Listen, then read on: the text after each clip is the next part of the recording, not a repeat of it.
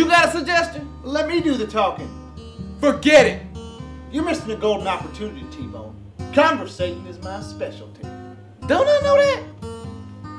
I want to get out of there before Saturday. There she is. Still empty. Hope they got pearl beer. Grab the money. Let's go. Hold on, T-Bone. Come on, get out. I've been thinking. What? I ain't quite sure, but this just might be a parole violation. Ow! We got some business here, Weasel. Oh, you can spare a minute with an old neighbor from Greenville? How's your mama? She killed my dad. I think she's in Utah. Well, you hear from her, you say hi from Mr. Fergus. I hate to break up the social hour. Oh, T-Bone. Now, if you won't mind moving away from the cash register, You uh, gonna shoot it open? that's the idea. Oh, I appreciate the thought, boy, but I'd rather just call the serviceman. You ain't got the picture yet, do you?